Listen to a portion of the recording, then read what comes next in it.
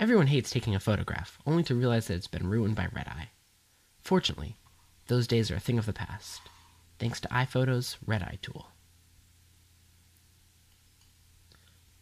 The Red Eye tool is very easy to use and offers a similar heads-up display to many of the other tools in iPhoto. Beneath my photograph is my red eye removal options. I can either choose between manual or automatic. I would start by trying automatic and only if automatic does not work would I switch over to manual.